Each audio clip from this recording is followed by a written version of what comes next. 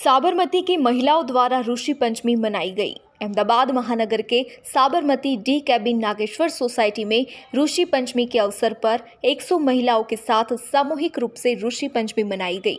इस कार्यक्रम का आयोजन करने वाले मुख्य रूप से जयश्री बहन, कनुभाई व्यास, चंद्रिका बहन, कैलाश भाई प्रजापति तथा ज्योत्सना बहन राज पुरोहित ने बताया कि ऋषि पंचमी कथा के अनुसार अत्रि भारद्वाज, वरिष्ठ गौतम, जनदग्नि और विश्वामित्री की पूजा की जाती है। ये सात ऋषि ब्रह्मा, विष्णु और महेश के अंश माने जाते हैं। इस व्रत को करने से सभी प्रकार के पापों से मुक्ति मिलती है और जीवन में सुख शांति आती है।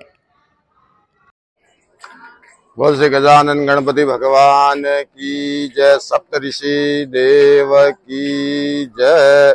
मु कन्यालाल मांगीलाल जी, व्यास महाराज એવારું ડી કેબિન, સાબરમતી, આજ ઋષિ પંચમી રે મારો આજ ઋષિ પંચમી રે દન ડી કેબિન રે મેં કૈલાસભાઈ પ્રજાપતિ રે ઘર તકે એકસો એક બેનારો સમૂહ ઉદ્યાપનરો આયોજન કરવા મેં આવ્યો હે.